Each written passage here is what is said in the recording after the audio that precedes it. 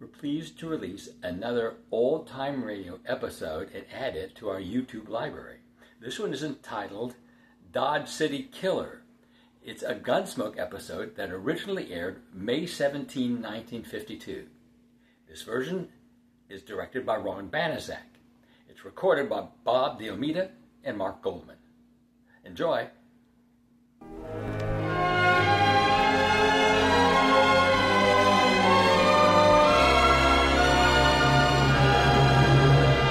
Welcome.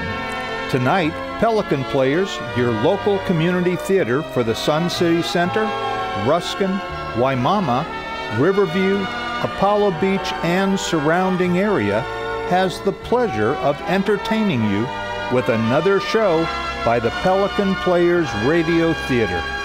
The cast is made up of all volunteer local residents. We will introduce the cast following tonight's show. And now, tonight's performance.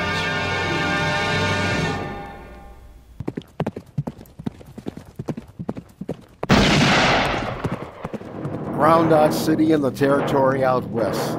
There's just one way to handle the killers and the spoilers. And that's with a U.S. Marshal and the smell of gun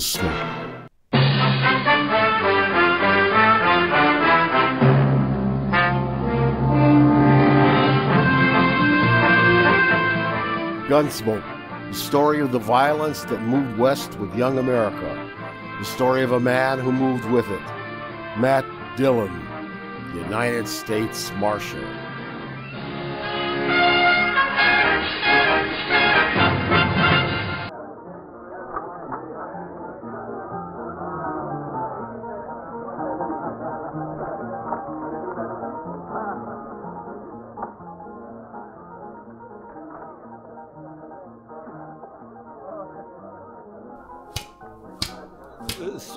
Mike. Uh, how many, Matt?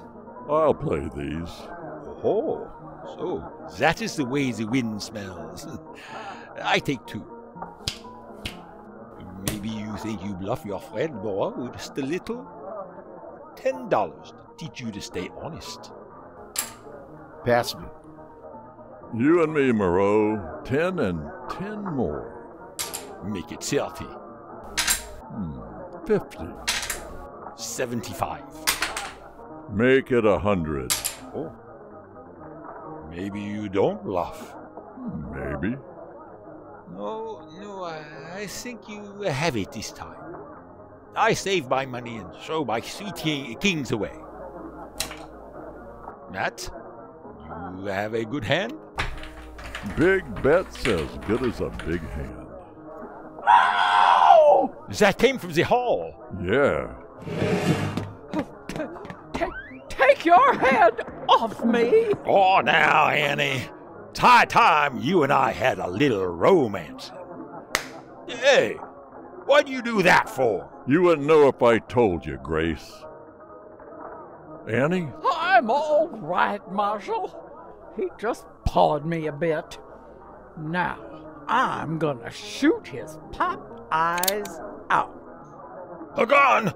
No, Annie, don't. Oh, darn you, Marshal. Did you have to knock my gun away? I had him cold.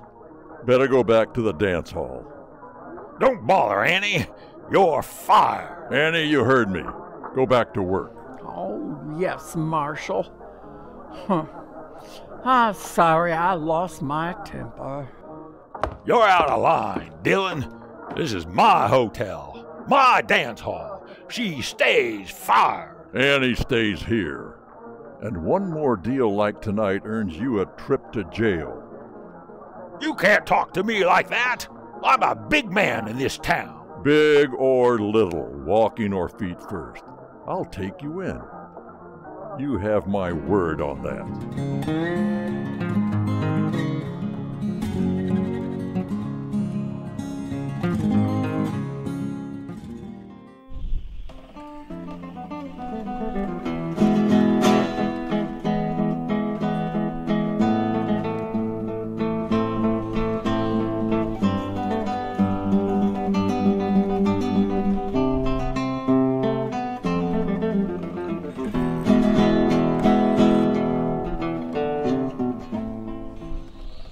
Thanks, Annie.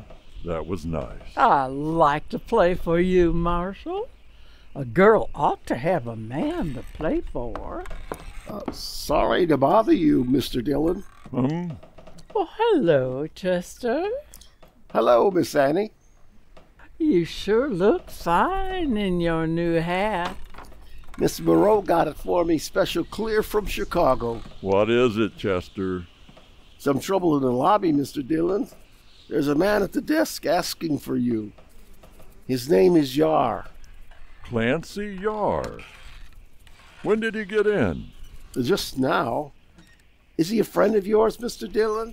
I'll tell any man he is. Why? He's got a woman with him, his, his wife. So? Well, sir, she. Well, she's an Indian. I left the dance hall part of the building, and in the lobby I saw Clancy draped over the desk, looking as tall and hungry as ever. To one side, a tiny girl was standing, her head proudly erect, her black eyes glittering defiantly. So get her out, mister. Ain't no murdering the Redskins getting a room at my hotel. Hello, Clancy. Welcome to Dodge. Matt, Matt Dillon, you black-hearted old gunslinger. All right, you. Now get this squaw out of here. Shut up, Grace. Clancy, I'd take it an honor to meet your wife. Narisha? Narisha, this is Matt Dillon. Matt, my wife Narisha, daughter of Black Eagle. I am honored to meet my friend's wife, and also the daughter of the great warrior chief, Black Eagle. You know my father. His fame is as the sun, not only among the Comanche nations, but among all men who respect a brave and worthy leader. That's mighty fancy talk. But look here, Dillon. I insist you get that little savage out of here. Grace, Huh? don't press your luck. Ah, now, Marshal, uh, I didn't mean no What room are you giving my friends? room, but I. Uh, six, guess. The key? And let your guests know they're welcome. Here. Welcome to the Grace Hotel.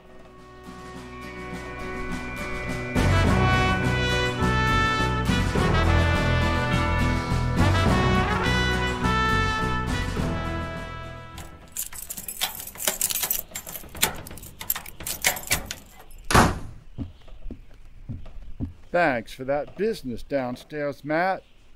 I was on the verge of boring that mealy mouth. Oh, forget it, Clancy. Uh huh. Well, Grace sure better keep out of Narisha's way. She's kind of sudden when she gets mad. He is bad man. Speak with evil tongue. Oh, Clancy! A real bad. Oh, look, look. It jumps and talks. don't, don't bust it, woman. If you act sweet and nice, maybe I'll buy one of them talking beds here and we'll fetch it home with us. All for me? All for me?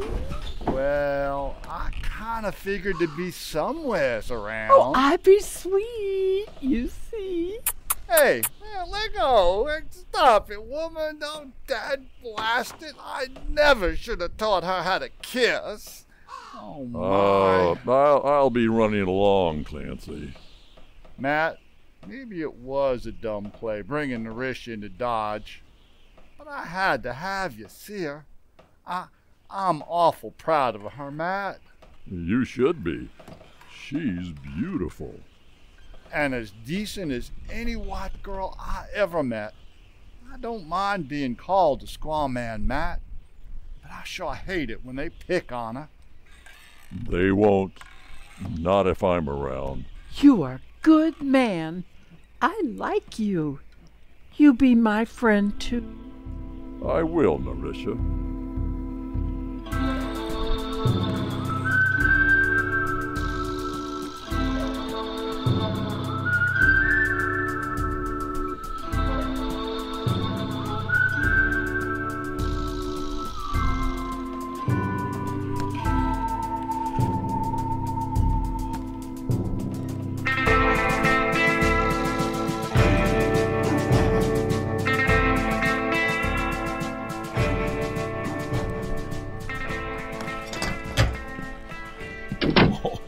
Bonjour, Marshal. Afternoon, Moreau. Um, give me a box of shotgun shells, two of 45s and one of 30 30s. Oh, and a needle and some thread. Oh, word of course. What color thread? Doesn't matter as long as it's strong enough to hold my socks together. Ah, then I give you green. A dozen spools? One, A half dozen, perhaps. one. For you, uh, a bargain. Four spools for the price of three. How many spools you stuck with? Uh, Gross. How could I know that in George there's only one woman with a green dress? She can't sew. oh, pick a dozen, Matt. I give you this can of peaches free. One. But I'll buy the peaches. Good. Uh, Marshal, I know you do not wish to talk about it, but you should know it is about your friend's wife. I've heard. They're talking of running Mrs. Yar out of town. How do you feel, Moreau? Me? Oh, Matt, I am the Frenchman. Uh, more even than money, I love the romance. Uh, and your friend and his beautiful Indian bride, oh, so in love they are, like children. But uh, she is Comanche. It means trouble. Very bad trouble.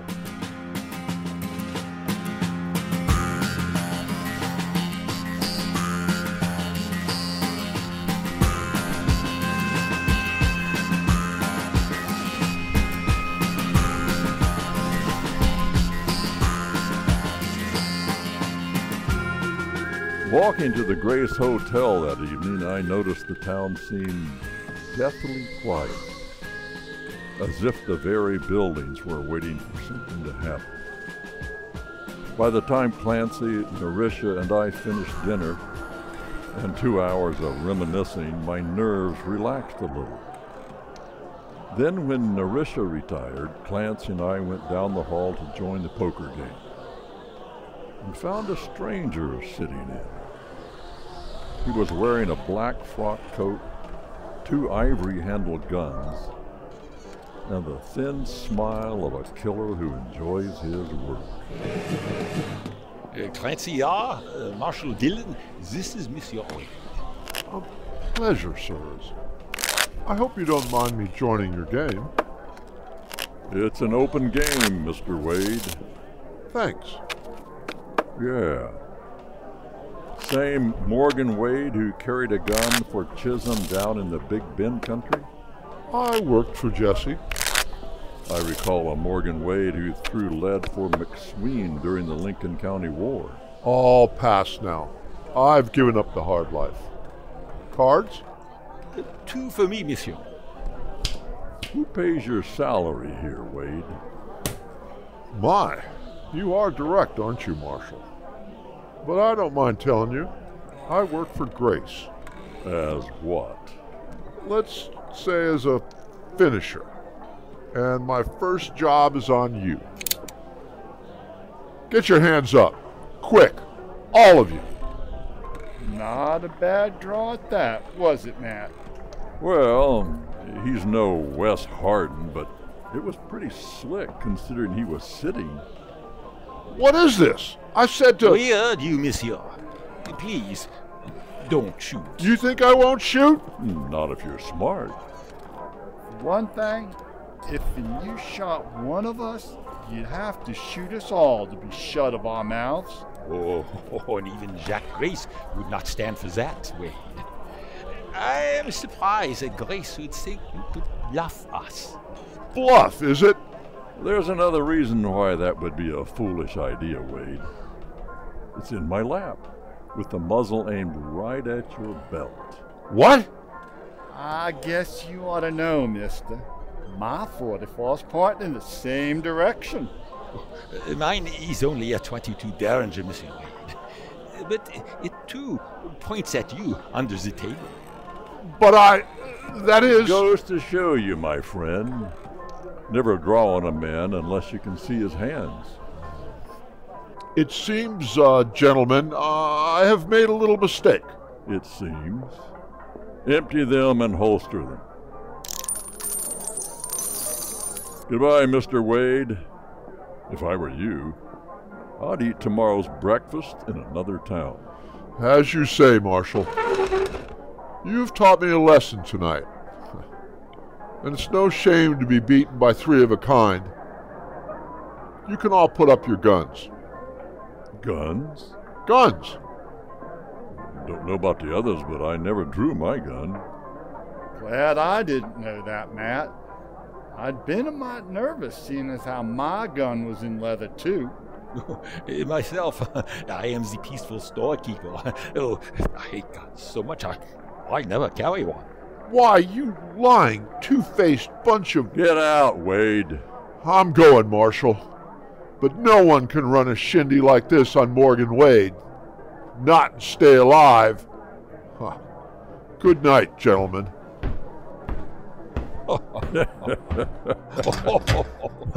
Did you see his face? Man, we sure tore up his pride.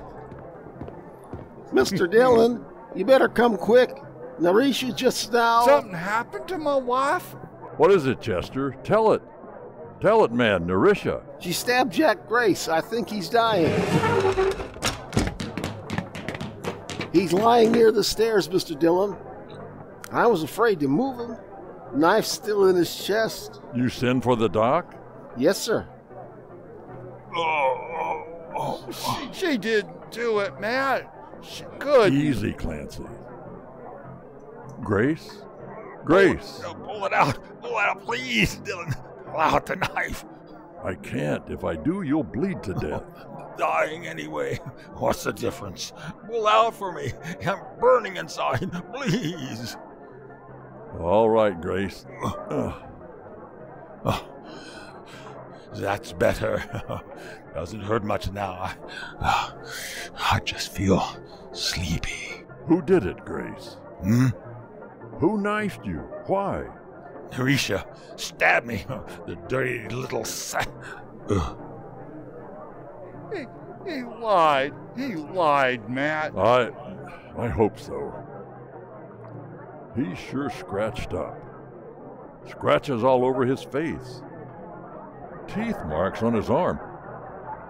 Oh, ever seen this knife before? It, it's hers. But she didn't kill him, Matt. Let's talk to her, Clancy. Stay here, Chester. Yes, sir. You know she couldn't murder anyone, Matt. You know that. Okay, here is your room. Narisha? Matt, What is it? Matt, she's run away.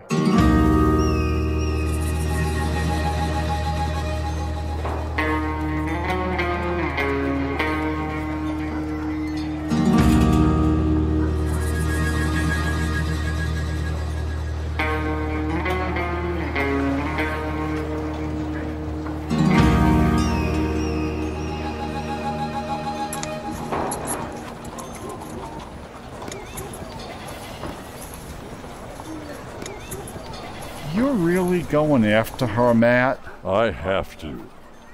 Don't suppose it'd do any good to, to remind you of our friendship. I have to bring her back, Clancy. She's killed a man. Man, you call that foul-tongued lecher a man? Ugh. I can remember when We you... can both remember a lot, Clancy. But it doesn't do us any good now. I've got a job to do. You know I'll do it. Yeah, I know, Matt. I'm just not sure we're gonna be friends much longer, you and I. I hope we are. Can can I ride with you? Well, I, I You, you have my word I won't pull anything. If in my word's worth anything to you. It's worth something. But I, I- All, all I want is to see she doesn't get hurt. Narisha's only a kid. She'll be scared, Matt. She'll need me. all right, Clancy. Get your horse. Thanks, Matt.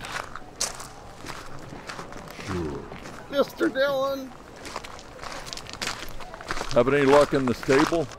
No, sir. She didn't take her own horse. Guess she was in too much of a hurry. She took Fred Grayson's big gray from the hitch rack in front of the hotel and rode north. He's hopping mad about it. Fred's, eh? Huh. Narisha knows her horseflesh. That big gray can run all day without raising a sweat. Yes, sir. And there was a rifle in the saddle boot. Everyone's waiting for you to pick out your posse, Mr. Dillon. Tell them to go home. There'll be no posse. What? Clancy and I are going alone. I'm not going to take a chance of some trigger happy saloon bum shooting that girl. They'll be awful mad. They'll sure think you and Clancy are framing up to get the girl away. I'm not sure I care what they think. Do as I say, Chester. You can cheer them up by telling them I'll bring her back. If they're real lucky, she'll be convicted and they can watch her hang.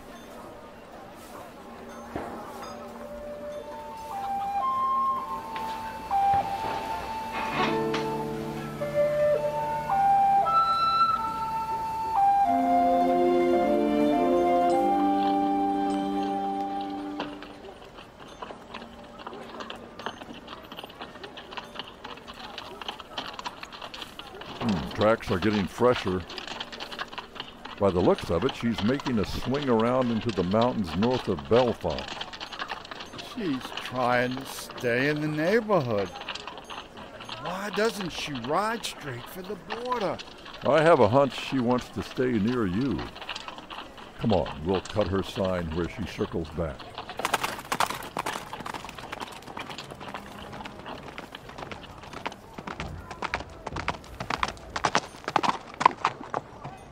Having trouble? Ah, Narisha must think that Gray's a mountain goat. She's taking trails that aren't fit to walk on, much less ride. She was born on a horse. Uh huh. These are bridle paths to her. Yeah. Well, she's going for the peak, that's sure. We'll push on to that little mesa there and camp for tonight. Camp? When does a manhunter like you stop and make camp? Since now, I'm not hunting a man this time.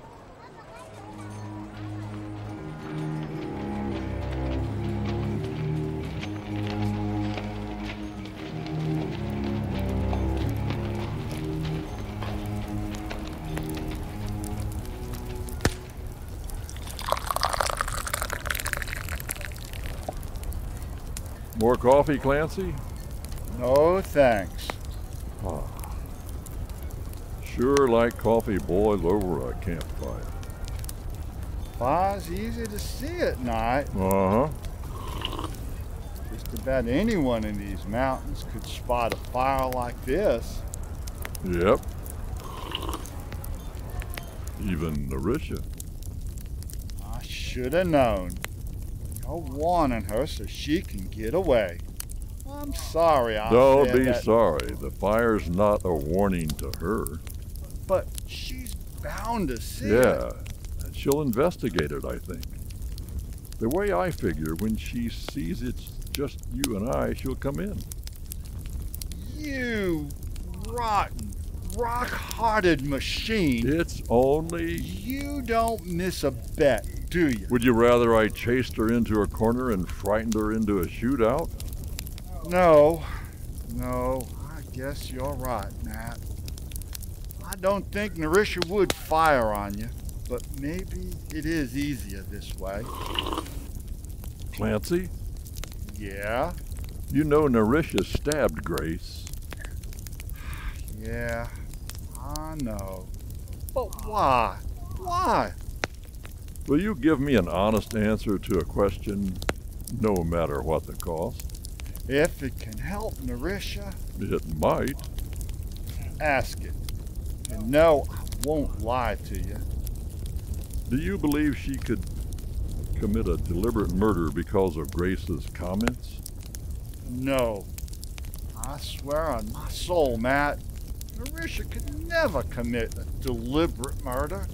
Ah, that's all I wanted to know. does. Does that mean It you- means I believe she's innocent of murder. I'm sure I know what happened. With any luck, I'll prove. Ow! Hit the dirt. Get out of the firelight. You get tagged? Oh, just a crease across my ribs. I'm okay. Narisha? Hardly. Whoever's doing the shooting's on that slope up there. So? So, it's 200 yards off and a downhill shot to boot. I've seen Narisha shoot too many times. At that distance, she couldn't hit the state of Texas, much less a man. Looks like whoever it is decided to save his shells. I reckon. Really ought to pay the lad a visit after him sending in his calling cards so polite like. You feel like a little stroll up that slope? Now that you mention it, I do. Take the left and circle in on him. I'll make sure we both get him spotted right. Watching? Watching. Come on, you bushwhacker. Here's your target. There you are. You okay? Okay, but that boy's a real gunner. He misses close. Let's go teach him better manners.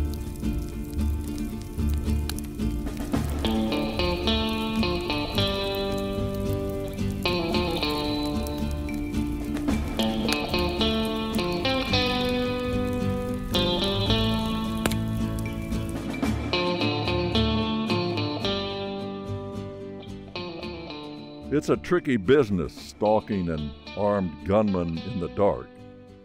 But Clancy and I had learned the trade from too many Indian fights where you become an expert or a corpse. It took me a full half hour to make my circle around the ambusher's position, holding my gun ready. I saw a shadow take shape in the rocks, but as I aimed, the night's silence was broken. Very good. You beat my Narisha, so it was you. You are a wonderful hunter. You quiet like the Comanche. Oh, I should be. They taught me. You little idiot, I might have shot you. I'd not let you do that. I watch when you get close. I'll take that rifle, Narisha. Oh, yes, Matt. Narisha? Oh, Narisha! My husband is mad at me. Oh, man, oh, no, never, my crazy little girl. Oh, Narisha. Blood!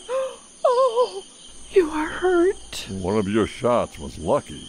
My shots. But, but I don't shoot. I, I forget to tell you. Tell us what? The man who shoots at you. I hit him What? What? with a rock.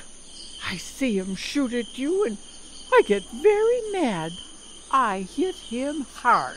Where? Well, on head. No, no, I mean, where is he now? Well, there, under that big rock. I push it on him so he don't go away. Well, I'll be. Well, he's here all right. Who is it? Well, our friend from the poker game, Morgan Wade. Yeah. He's alive, but I'd sure hate to have his head when he wakes up in jail tomorrow. Put him on a horse, Clancy, and let's get back to town. Matt, Yes? you take me to jail? I don't want to go to jail. Oh, I'm afraid you must. For a while, Narisha. But don't be frightened. They, they hang me. They hate me in Dodge.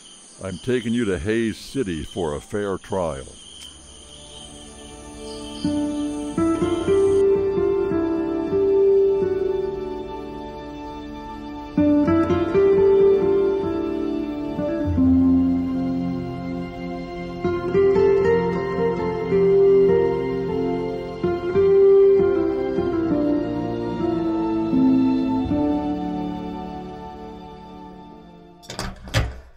Mr. Dillon, Judge Craddock will see us now. Thanks, Chester. Let's go. Worried? Narisha is not afraid. Good girl. Yes, yes. Uh, come in, Marshal. Uh, you've read the plea, Judge Craddock? Uh, of course. Now, let's see. Hmm. My, my. Yes. Mrs. Narisha Yar stabbed to death one John Grace in Dodge City. Mrs. Yar wishes to throw herself on the mercy of the Hays City Court. Why? Due to known bias in Dodge City and the impossibility of selecting an impartial jury in this area, Your Honor. Uh, because she's an Indian, eh? Uh, go on, Marshal. Her plea is innocent by reason of self defense. Got a lawyer? No, sir. She'll speak for herself. Go on, Narisha. Tell him exactly what happened. We fight. I kill him. Um, I'm afraid I need a few more details. Uh, uh, yes, sir. It was late, but I could not sleep. I go downstairs to take a walk. On stairs, Mr. Grace meet me, say funny things to me. Funny? Bad things. You Go know. on. Well, I get mad. Tell him to shut up. He get mad and grab me, make me kiss him. We fight. wh- why didn't you scream for help? Help? I'm not afraid of him. Just mad. I see. I don't get very mad until he tear my dress. But when he do, I bite his arm. I have a knife. I use it. Then I am afraid. I know people in town hate So me. you ran away. Yes, sir. And gave herself up voluntarily, Your Honor. Any substantiation of this story?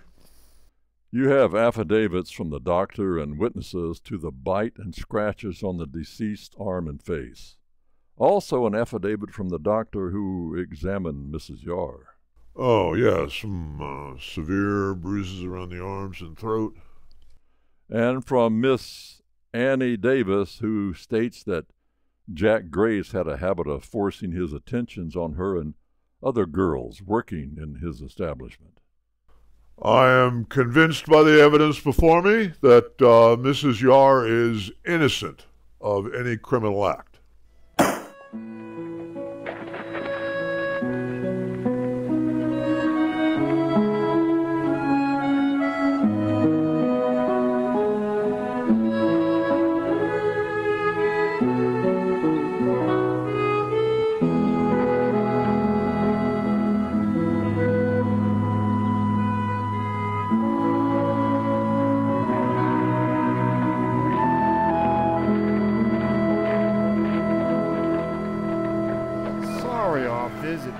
You such a mess of trouble, Matt.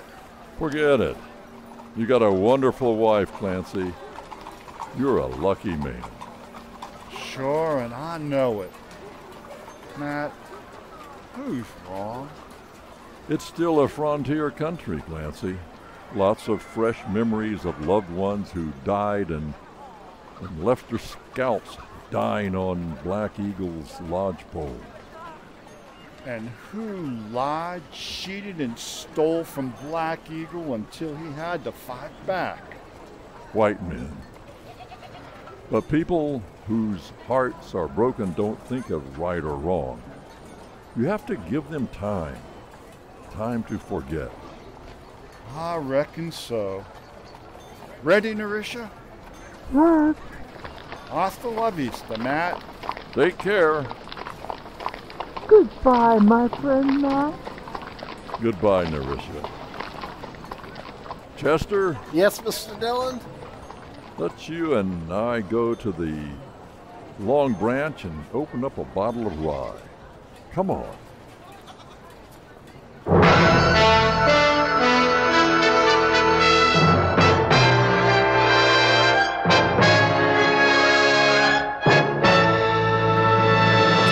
Listening to the Pelican Players Community Theater production of Gunsmoke, Dodge City Killer. Originally aired on May 17, 1952.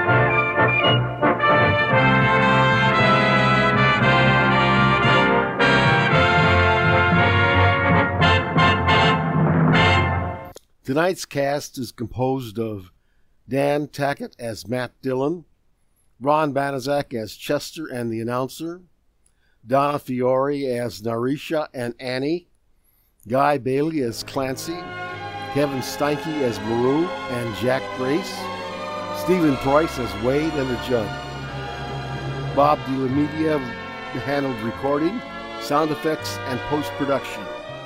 Mike Goldman was sound technician. Lori Failing and Alexis Swinson handled microphones. We hope you can join us the last Friday night of each month for another Pelican Players Radio Theater show. Please be safe, stay well, and thanks for listening. Good night.